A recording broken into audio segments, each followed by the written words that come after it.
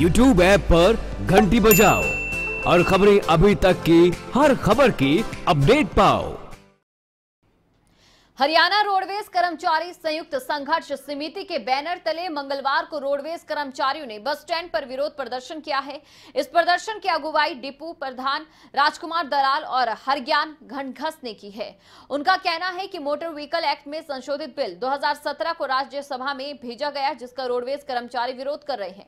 उन्होंने चेतावनी दी है कि इन सभी मुद्दों को लेकर ही एक बार फिर से प्रदेश भर में डिपो में सात अगस्त से रोडवेज़ का चक्का जाम किया जाएगा। अगर इसके बावजूद भी सरकार ने कोई कार्रवाई नहीं की तो रोडवेज़ कर्मचारी कोई बड़ा आंदोलन करने पर मजबूर होंगे।